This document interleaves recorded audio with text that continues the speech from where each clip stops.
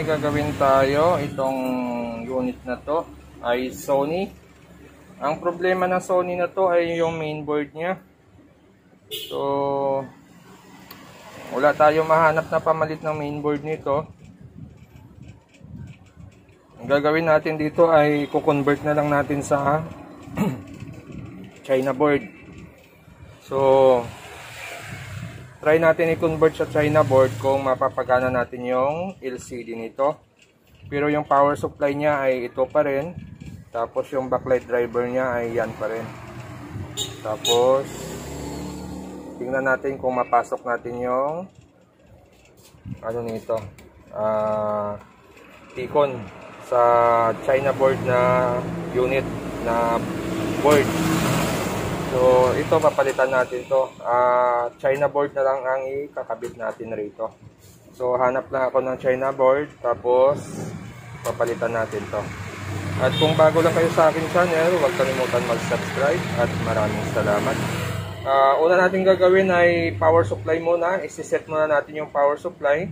Kukunin natin yung 12 ng power supply na to. Tapos, yung switching para sa kanyang backlight lagyan na natin para pag nagkabit tayo sa mainboard ay yung yun na lang yung kailangan natin. Yung 12 saka yung switching ng backlight. Yun na lang yung magagamit natin dito. So itong mainboard ay wala na. Okay so yan yung power supply nya uh, yung power supply natin ay may standby na 3.3 okay So, mayroon siyang standby na 3.3 tapos may P-on siya. Uh, pag unang saksak mo niyan, ang gagana muna dyan ay yung kanyang 3.3. So, pag nag-power on yung mainboard, gagana yung ating 12 saka yung ating 24. Yon, supply ng backlight niya. So, gagawin natin dito ay po ipo-force on natin tong standby niya saka power on para magkaroon ka agad dito ng 12 volts. So sa 12 tayo mag maglalagay ng supply papunta sa ating mainboard. So yung power supply ng mainboard natin, uh, titingnan natin kung kailangan pang paganahin o hindi na. So dito muna tayo sa force on natin.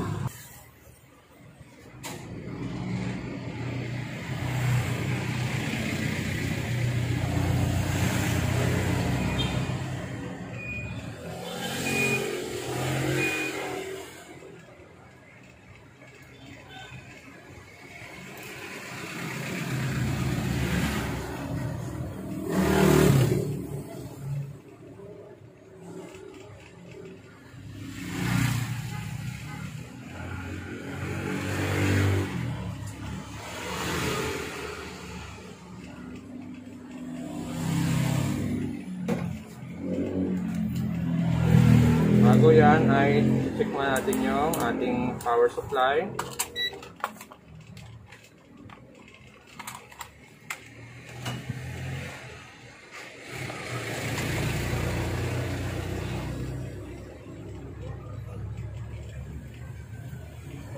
Saksak muna natin. Try muna natin kung buo yung power supply natin.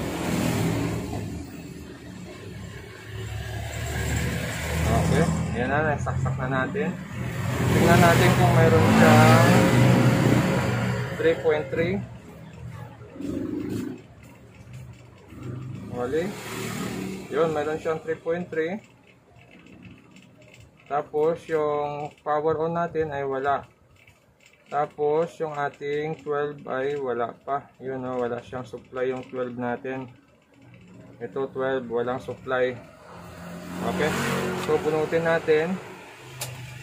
Tapos, ikabit natin tong pang jumper natin sa force on natin yung secondary niya.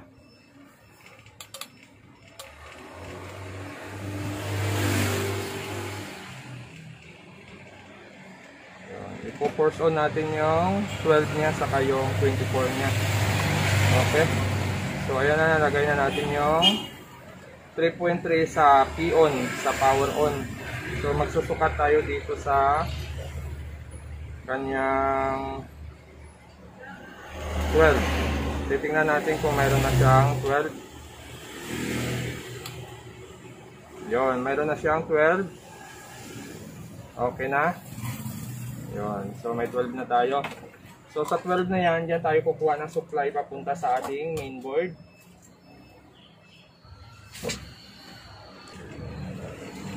Okay, so natapos na natin i-wiring yung ating kinonvert na mainboard. So ito yung ginamit natin. Tapos ang power supply nito ay nanggagaling na dito. Tapos yung backlight nito ay original pa niyang backlight. Uh, gumamit tayo ng regulator na 5 volts para sa switching ng kanyang backlight. So 5 volts ang switching nito para mag-on yung backlight niya. Tapos gumamit tayo ng relay para makontrol niya yung uh, on-off ng backlight niya. So pag nag-on yung mainboard natin, magre-relay ito tapos papalo yung backlight niya. So gagana yung backlight pag gumana yung relay. So ang control na ng relay na to nanggagaling sa mainboard. May mga wiring na rin tayo niyan sa mga dati nating video. So yan lang yung ginawa natin. Yan. Tapos, mayroon pa siyang transistor para sa operation ng relay. Ito naman, regulator to na 5 volts para sa supply ng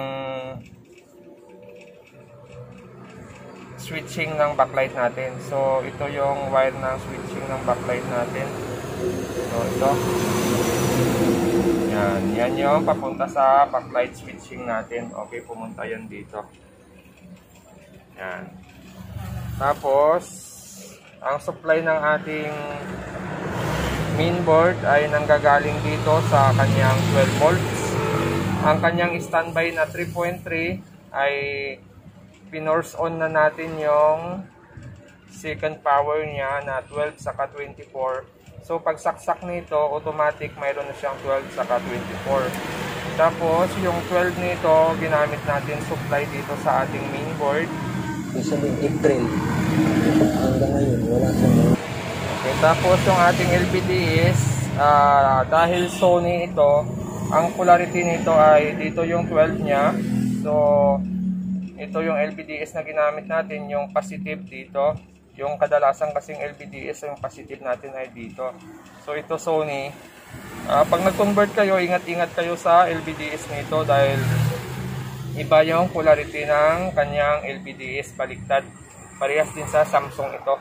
So, yung mainboard na ginamit natin ay mamaya tingnan natin yung logo nito kung anong lalabas. Tapos, yan lang connection natin. Itong audio video sa USB, naglagay lang tayo ng wiring dyan para mailagay natin yung audio video rito sa yung USB rito. So, mayroon na rin siyang HDMI rito uh, pang computer, antena. So ito lang yung hindi natin nailabas. Pero nailabas natin yung ito. Uh, ah, USB saka audio video. Okay, so ito na siya. Dito na lahat ng kanyang saksakan. Okay, so may nakakabit na rin antena. Tapos yung kanyang sensor ay dito natin na ipasok yung sensor niya sa original pa rin niyang uh, sensor. Yung area ng sensor na lagayan ng unang Sony dito din yon pero yung ating switch na gagamitin ay ganito na. Yon so dito na lang natin yan ilalagay mamaya sa labas. Kasi yung original niyang switch ay dito sa kabila. So malayo na. So yung speaker niya ah, ganun pa rin yung ginamit nating speaker.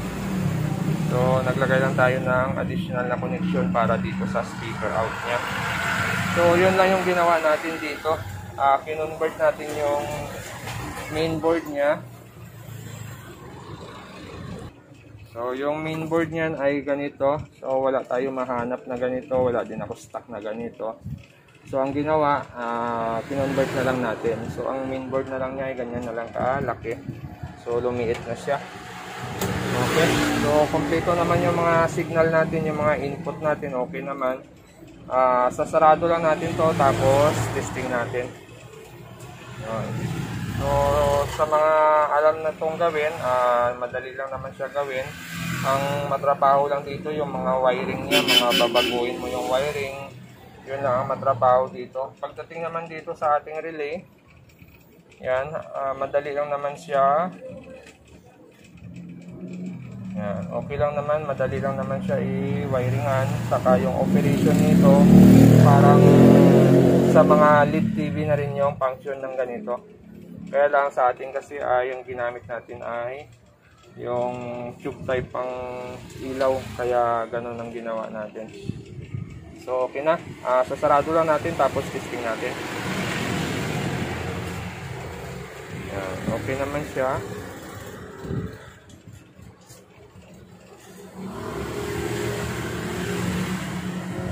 Okay, so ito na, natapos na natin yung ating Sony. Testing na lang natin. Ayun, meron na siyang ilaw, yun no. So, nakasit yan sa auto on. Antayin na lang natin mag-on yun, nag-on yun. Ang tatak ng board niya ay Xenon. Yan, tapos lipat natin sa source. AB. Yun.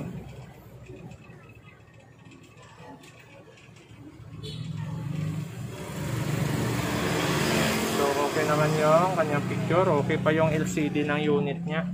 So try na lang natin kung matanggal natin yung kanyang logo. 147. So try natin kung matanggal natin yung kanyang logo.